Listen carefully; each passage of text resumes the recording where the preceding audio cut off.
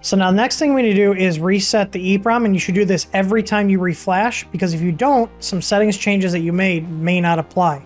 So to do that, you can either do it through the LCD, which I'm going to show you now, or if you know how to connect to your printer over a serial connection, you can also do that with the G-code command M502 followed by M500. So I'm going to show you with the LCD right now. I'm going to press the button on the encoder here, go down to configuration, go down to reset EEPROM, and then select reset. At this point, if you have a beeper on your screen, it'll make a little confirmation beep, and then it'll say settings stored. At this point, the EEPROM is now reset.